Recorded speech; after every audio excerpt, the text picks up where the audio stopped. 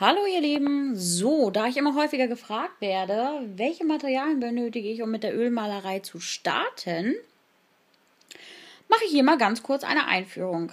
Das Material von mir ist hauptsächlich von Bob Ross, weil ich von diesem Hersteller absolut überzeugt bin. Ich will jetzt keine Schleichwerbung machen, aber ich kenne keinen besseren und das Preis-Leistungs-Verhältnis stimmt einfach. Die Materialien halten sehr lange und sind sehr gut.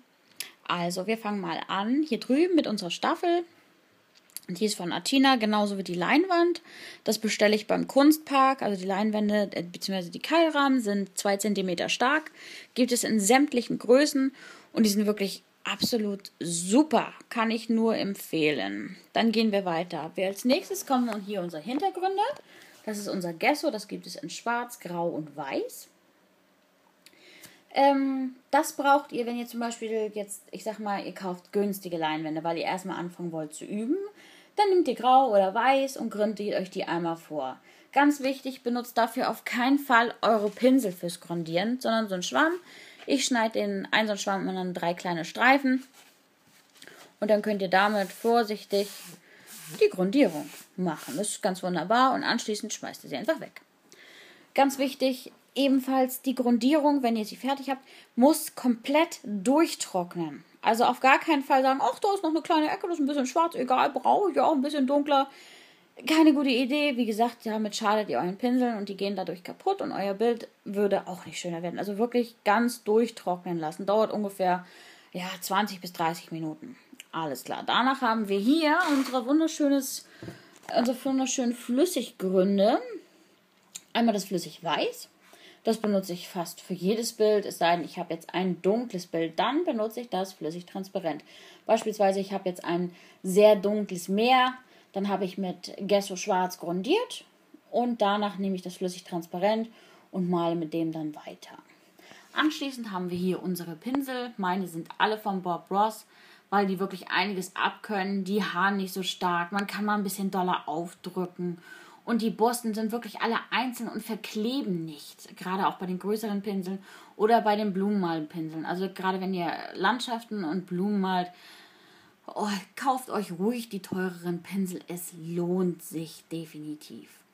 Okay, hier drüben habe ich meine Glasscheibe. Kann ich euch nicht weiterempfehlen, wenn ihr jetzt Kinder habt, weil die natürlich ganz leicht bricht. Wie man hier hinten sieht, ist mir dies auch passiert. Hat mich nicht groß gestört, weil dadurch mein kleiner Bildschirm da hinten in die Ecke noch passt. Aber wie gesagt, für Kinder zu gefährlich. Dann nehmt ruhig eine Plexiglasscheibe oder schaut mal, was ihr im Internet für eure Farben findet. Hier drüben ist mein kleiner Holzkasten aus dem Baumarkt. Den habe ich selber komplett umgebaut mit der kleinen Schrägen drin, damit ich da eine gute Übersicht von meinen Farben habe weil mich hat das wahnsinnig gemacht, immer irgendwo zu suchen, wo denn jetzt gerade die richtige passende Farbe ist, die ich gerade brauche. Und so ein Kasten ist wunderbar. Hier drüben sind meine Ölmaltücher. Da habe ich jetzt die von Butni oder auch von Rewe. Das sind ganz normale Babyfeuchttücher. Die sind zum Reinigen der Hände ideal. Und ähm, auch zum Reinigen der, der Palette sozusagen. Für die Pinsel nehme ich sie zwischendurch auch. Ganz wichtig aber, ganz zum Schluss benutzt bitte ähm, die Feuchttücher, in denen Öl enthalten ist, weil sonst trocknen diese Feuchttücher eure Pinsel aus und schäden sie auf Dauer.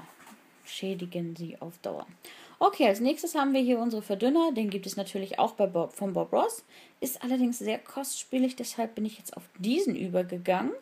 Ähm, auch geruchslos, also top. Kann ich nur weiterempfehlen. Daneben steht unser kleines Blumenöl. Dieses benutzen wir, wenn wir jetzt eine Farbe haben, die sehr zäh ist.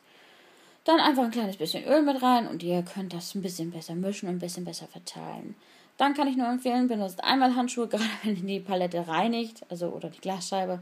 Ähm, macht das nicht ohne, weil ihr versaut euch alles. Die ganzen Fingernägel ist alles grün und schwarz und ja, die Handschuhe. Hier habe ich so eine kleine Schüssel. Ähm, da kommt mein Gesso Schwarz rein. Kann ich auch nur empfehlen. Die das kann man ganz gut reinigen im Glas. Ähm, ja, da mache ich so ein kleines Tröpfchen rein und dann nehme ich halt, wie gesagt, den Schwamm. Hier ist mein kleiner Eimer mit meinem Sieb. Das ist jetzt kein Bob Ross Eimer, weil der ist mir ehrlich gesagt zu teuer. Ähm, aber das Sieb ist von Bob Ross, weil es einfach unschlagbar gut ist. Dann habe ich hier hinten, ich hoffe, euch wird nicht schwindlig, ebenfalls mein großes Bob Ross Sieb äh, mit einem ganz einfachen Mülleimer. Den habe ich von Jawohl gekauft, weil es ist doch nicht ganz einfach, da was zu finden, wo das Sieb auch reinpasst, weil es halt sehr breit ist. Aber gerade für die größeren Pinsel kann ich es nur empfehlen, weil ihr sie so wirklich, wirklich schön trocken kriegt. Dass die Flüssigkeit wird aber gesammelt, dass ihr sie weiterverwenden könnt.